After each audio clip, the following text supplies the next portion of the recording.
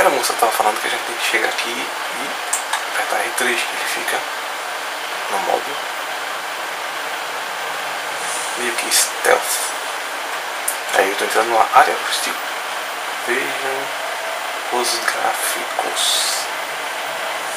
E outra coisa, se você tem um jogo, gosta de jogo de tiro primeira pessoa. Ok, vou me acobrir. Se você tem um jogo de Playstation 3, não deixe de ter esse jogo na sua coleção. Vejam só. O design aqui é uma coisa fora do normal. Digitando, apesar desse jogo não, não ser tão recente, mas.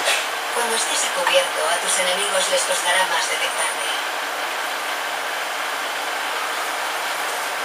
Falta o nosso. Los objetos encontrados en el mundo se pueden usar como armas para combate cuerpo a cuerpo. Se essa mulher O los deixar puedes falar, utilizar para distraer a tus enemigos.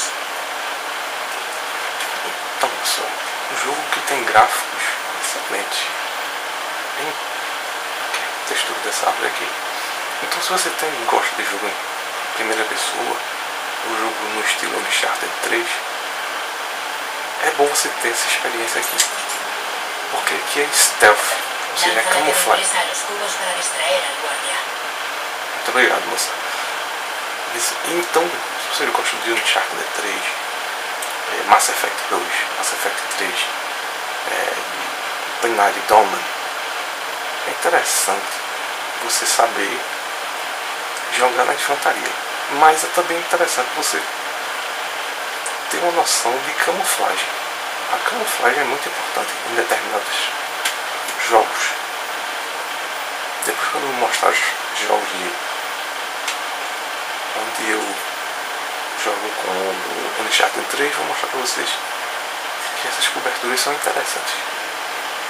E essas técnicas de stealth, junto com as técnicas ah, vai bombar. Excelente. Tira Pasa la- mientras el guardia está distraído. Tirar uma foto dele.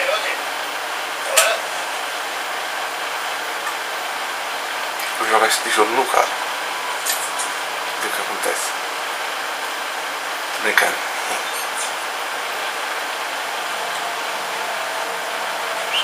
E esse jogo ele tem. Eu vou guardar esse tijolo, mas é brincadeira, por causa do tijolo normal. Essa parte aqui eu fiquei. é, Esse jogo é todo. É, a maior- a maior parte dele é jogo em stealth. Você pode fazer as missões do jeito que você quiser. Só que aqui no tutorial está ensinando como fazer em stealth, em descrição. E num jogo multiplayer, quando o cara não consegue lhe ver e você consegue vários. É, seu primeiro do ranking, Normalmente esses caras usam essa técnica. Camuflagem mais precisão. Al passei muito. apuntar, la puntería se fija en los blancos cercanos. No próximo vídeo.